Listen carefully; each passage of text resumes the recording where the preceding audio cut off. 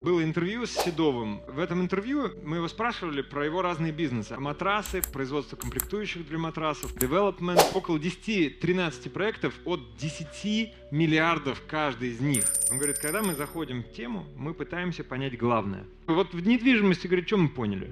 Что там главное это уметь делать бумаги, уметь деньги привлекать, строить нормально. Но одного главного, говорит, все девелоперы забыли это умение нормально относиться к клиенту. А если мы говорим про больницу, то это другие факторы. Эти факторы критические для успеха.